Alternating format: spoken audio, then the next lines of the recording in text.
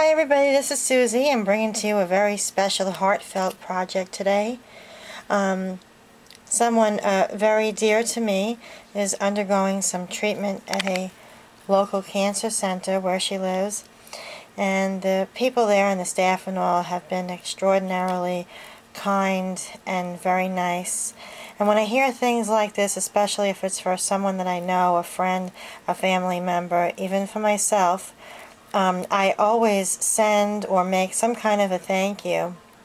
And while I was looking at my Wild Orchid Crafts flowers this morning, a little bell went off and I thought that I wanted to make something extra special just as a thank you for these nurses and staff members who are really caring about all of the members, uh, rather all of the patients that come in for uh, this type of treatment. So what I have put together here was I made this really really pretty pink ribbon and uh, what I had done here was the pink ribbon itself is probably about 8 inches tall. It was I, I found a ribbon photo um, on the internet through Google. If you type in uh, cancer awareness or cancer ribbon, they loads of pictures come up. And um, I printed it out, I cut it out, and I cut it out with the um, the flat razor, one of these. Okay. And um, then I put it on to, um, I adhered it so let me see if I can show you what it looked like. This is kind of like a go green project I'm calling it because I'm always using recycled something. But you can see that that was the size on some uh, Cheerios cereal board, okay, which this one came in handy. So I put it on there and then I cut it out with my flat razor knife again. And uh, then I had painted it with this acrylic paint. It's by Craft Smart and the color is bright magenta and it was a very vibrant pink. I was going to use the baby pink, but I wanted something to stand out behind the flowers in case I didn't load it up too much. All of these flowers are from wildorchidcrafts.com. Um, you've seen some of these in the beautiful design team package that I just received um, in the mail the other day. I had done a video on that, so you can go over to Suzie Crafter 10 and see it on my channel uh, Facebook, uh, excuse me, on my channel YouTube page. And um, getting back to these flowers, it's just one thing here from my stash, just one of those little crystal balls, and it was pink, and I thought I'd use it. Okay, and up on top here I have some of Wild Orchid Crafts, a double-tied bow uh, seam binding here that, that I just made the bow out of the seam binding. And I hot glued that to the bottom of the, um, right underneath this flower here. And um, you, you really cannot see anything. You'll see some of the wild orchid craft flowers in there and you'll see a couple of little, you'll see the messy background. You'll see a couple of the pearls in the back there. Just very few scattered around. You've got the fuchsia uh, calla lilies. You've got the beautiful roses and the smaller ones and the trellis roses I love. And these other hydrangea flowers. Just absolutely stunning. These the pink little um, sweetheart blossoms uh, that I had gotten in my package just recently. If you're interested in those for a spring project, it's PM00117.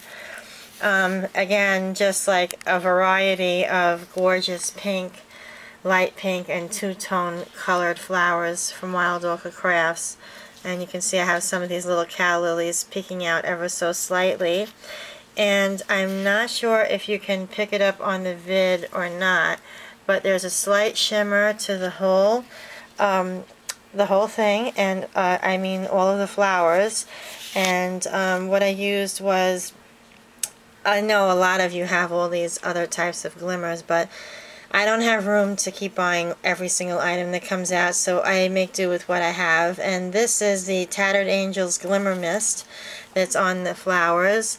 And the color is Pearl. And I kind of love that color because it's really neutral. It, gives a sheer sheen to anything that I use it on. So um, I just love the way that it came out. I'm going to show you the flip side just so that everything is um, nicely finished.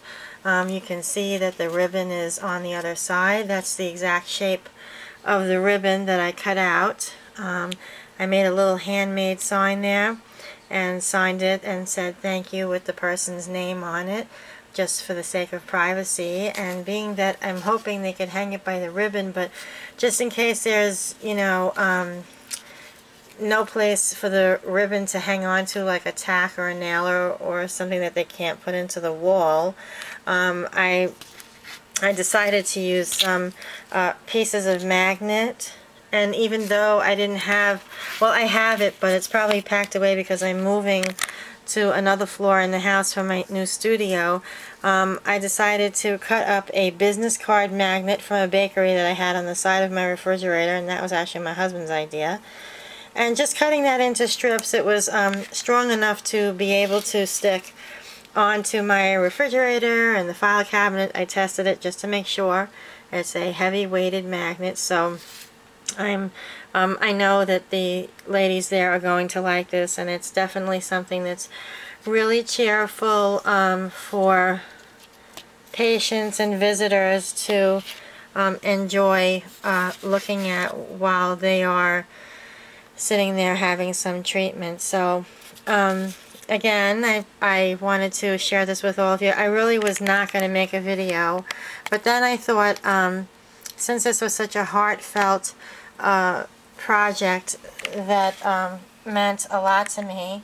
Um, I thought that I would share it with you. Excuse the, the messy background, but I was working on a piece of cardboard, and you can see where I had sprayed the, the glimmer mist there, but it's really in person. It's really, really pretty. I wish I could find my ruler, but that's probably packed away now, too. But if I put the scissor next to it, you can see that it's a little taller than the scissor.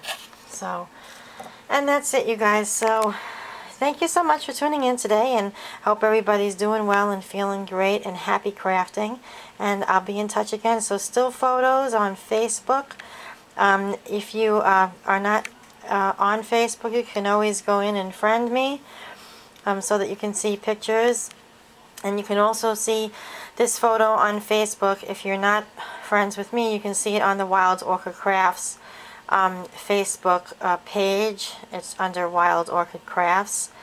Um, and you will also see photos of this on my blog at suziecrafter10.blogspot.com along with the other items that I have been creating. So thanks so much for tuning in today. Take care everybody. Bye.